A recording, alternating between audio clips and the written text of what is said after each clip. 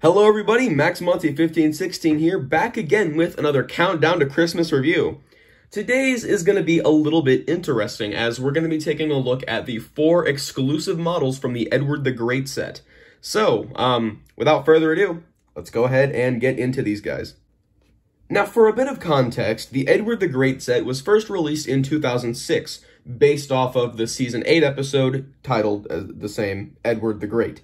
Now, uh, the set, of course, I'm not gonna like build the set and take a look at it, as set reviews just aren't really my thing.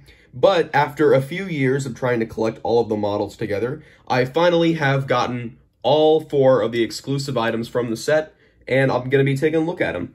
So first off, let's take a look at the titular character, Edward.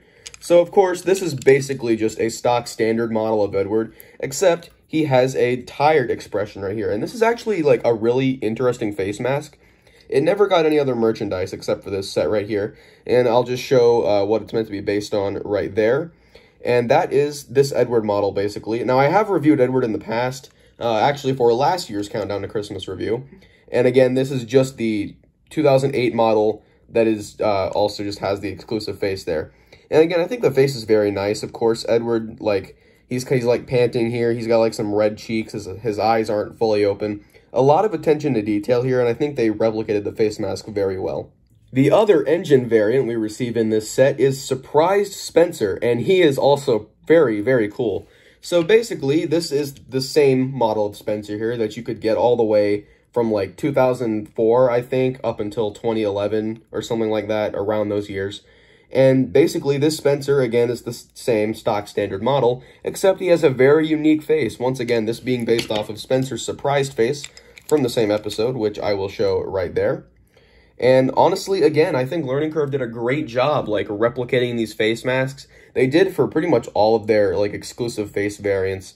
And also just, like, characters with different expressions or different faces have always been super cool and unique to me.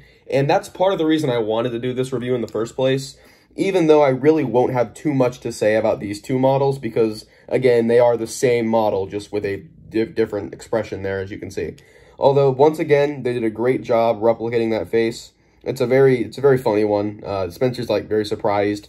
And, yeah, that is Spencer, so I, I can't really say too much else. Because, uh, I mean, again, it's just a different face, but I do like it. Now, also in this set, we got two exclusive pieces of rolling stock, each for one character to pull. So, Edward's rolling stock is the furniture car. So, uh, for some context here, Edward and Spencer are racing, and while Spencer's pulling his passengers, Edward has the furniture car, as you can see here. So basically, it is just a flatbed that has like a bunch of furniture on it, and then there's a tarp over top. And honestly, they did a really good job replicating this prop as well. And again, just uh, I'll show what it's meant to look like right there from the show. And then right here, again, this is the furniture car. So again, this is really detailed. I like the look of how they made the flatbed here. Uh, you can very clearly tell, like, it, it looks like the one from the show. And then you can also see, like, some bits of the furniture peeking out on there.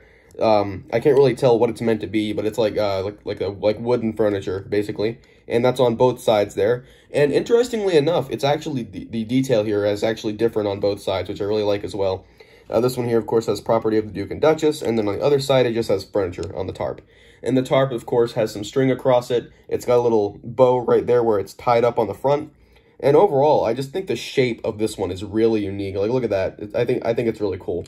So, like, it's got, like, this tall bit here, and then it kind of flattens out a little bit, and then it's got like, this little uh, peak up at the back there. But yeah, this is just a really unique item. It's also just really cool, I think, like if you want to put this in the middle of a goods train, like it just kind of adds some more variety to that. And I really like this one too. And now I've saved my favorite for last. So this is the Duke and Duchess's passenger car. Of course, Spencer being their private engine, he does have a coach to pull them in. Now, this was such a regular occurrence in the show. Like, whenever Spencer would appear, he would almost always have this coach. And the fact that it is so hard to find in Wooden Railway and that you could only get it in this set is actually quite a disappointment, really. Because, I mean, again, this, this set was only sold for like two years, so you are basically out of luck if you missed it. And, I mean, of course, you can still get them online, but they're really expensive now. But the Duke and Duchess's coach here is magnificent. I love the deep red maroon color on it. And again, just on both sides there. It's got many windows and also these little golden symbols. I'm not really sure what they're meant to be. Also got a lighter red stripe right there through the middle. And just overall, I mean, again, I will show the prop here as well. I mean, they did a fantastic job at replicating this coach. But I really like it. So this is just a repaint of the Express coaches, which they are really similar in fashion. I don't think they'd need to make a new tooling just for this coach. But I am really glad it exists. So I will give it that. But that is pretty much it for uh, the coach here. And this was a different review. I, I like just, I, I really like the set overall. And I think it's so awesome that it had four unique models in it, like at the same time. And you couldn't get these anywhere else. So, I mean, again, that they are exclusive. So that's kind of the whole point. But still, um, I just wanted to cover these. And I'm just really happy to have them. So thank you all for watching and have a great day. Max Monty 1516 signing out.